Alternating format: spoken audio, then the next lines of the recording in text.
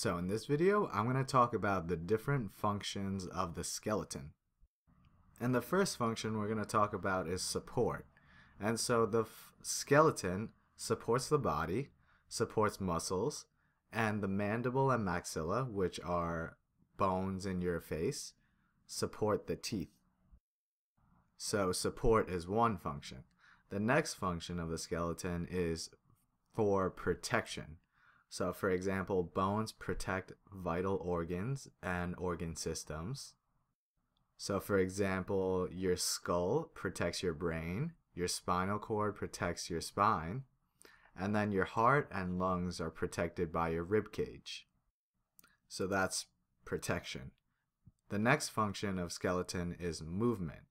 And so, the action of muscle, so essentially muscle acting on bone, generates limb movement, and in addition helps with breathing. One quick thing I want to mention is that we have what's known as an endoskeleton. So it's located on the inside. An exoskeleton is a skeleton located on the outside of the body. And so the next function we're going to talk about is electrolyte balance. And so the skeleton functions helps with electrolyte balance. And so what it does is the bones store calcium and phosphate ions as crystals. And then they release these ions whenever the body is low on these ions. And so it helps regulate the electrolytes in the body because of that. So remember, key thing bones store calcium and phosphate ions. The skeleton also functions with acid base balance. And so what this does is the bones or skeleton buffers the blood against excessive pH changes. And so what the bone does is it can either absorb or release alkaline salts, for example, calcium phosphate or calcium carbonate, to essentially regulate the pH and make sure it doesn't get too far away from the ideal.